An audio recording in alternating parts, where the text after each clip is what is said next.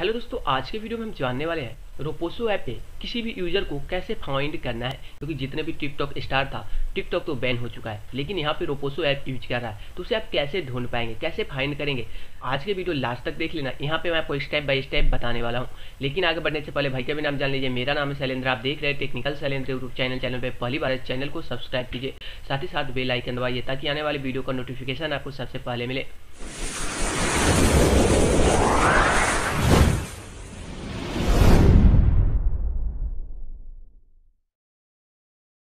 Finally guys आ चुके हैं mobile के होम स्क्रीन पे। तो इसके बाद सिंपल करना क्या है? रोपोसो ऐप ओपन करना है।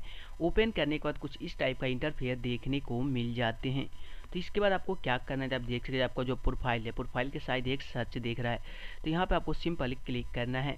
यहाँ पे दो ऑप्शन मिलता है प्रोफ़ाइल और पोस्ट तो सिंपल आपको प्रोफ़ाइल पे क्लिक कर देना है।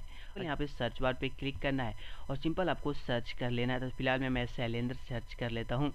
इसके बाद सिंपल आपको क्लिक कर देना है। तो देख सकते हैं आपको बहुत सारे शैलेंद्र के नाम से जो रोपोसो ऐप पे अकाउंट बना रखे है, यहाँ पे शो कर रहा है।